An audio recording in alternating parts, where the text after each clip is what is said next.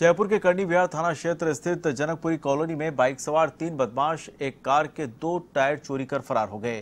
Car मालिक अभिषेक शर्मा ने बताया कि घर के बाहर लग रहे सीसीटीवी कैमरे में बदमाशों की वारदात कैद हो गई है। फ़िलहाल पुलिस सीसीटीवी फुटेज के आधार पर मामले की जाँच कर रही है।